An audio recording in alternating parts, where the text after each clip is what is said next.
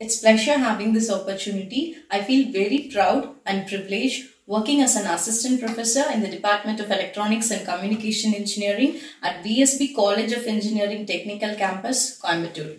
Yes, VSB College of Engineering Technical Campus, Coimbatore, during its 10 years of existence, has made forays in the advancing world. Our college provides campus recruitments for the national and multinational organizations. Yes, in today's fast-paced, tech-driven world, it's very important to keep up with latest skills and knowledge. Yes, today I would like to share something about machine learning algorithm which are very essential for the ECE oriented students for the today's job market. Yes, machine learning as the name suggests falls under three categories. One is supervised learning, second unsupervised learning and third reinforced learning algorithm. Yes, to be more specific, CNN which is abbreviated as convolutional neural network is one of the most important technique which falls under the category of supervised learning algorithm.